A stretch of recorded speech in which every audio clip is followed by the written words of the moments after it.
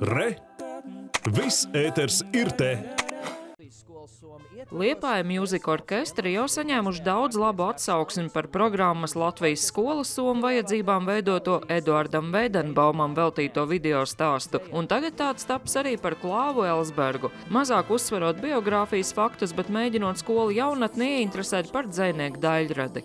Tā ideja ļoti labi strādā, jo tas ir atšķirīgs materiāls no tā, ko skolotāji māca mācību stundas laikā tas ir savādāks nekā tas ir uzrakstīts eh, kādā literatūras mācību grāmatā. Jo Elsberga šis video stāsts ir būtībā eh, bāzēts tikai un vienīgi uz eh, viņa rakstītajām vēstulēm, kas pauž attiecīgā mirkļa momenta emocijas, sajūtas, izjūtas. Un tas ļoti rosina domāt, analizēt. Jau strādājot pie video stāsta veidotājiem radusies vēlme tajā iekļautās dziesmas kā atsevišķs videoklips nodot arī plašāks publikas ne tikai skolēnu uzmanībai. Kā pirmais pie klausītājiem vietnēs YouTube un Spotify nonācis jaunās dziedātājas tipas un Liepāja Music orkestra kopdarbs Es klusi.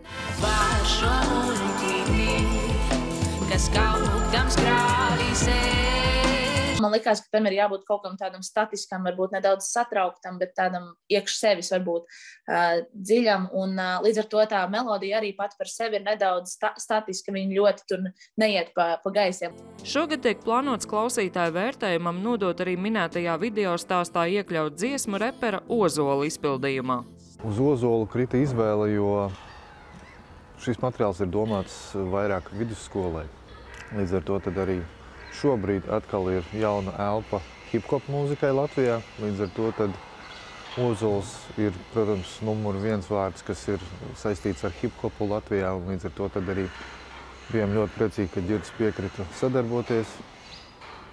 Tabitu izvēlējamies, jo Tabitu ir viena no spilgtākajām liepājas jaunajām mūziķiem, kas, kas uzsāk savu ceļu popmūzikā. Un, protams, šie divi skaņdarbi ir ļoti, ļoti, ļoti piemēroti viņiem.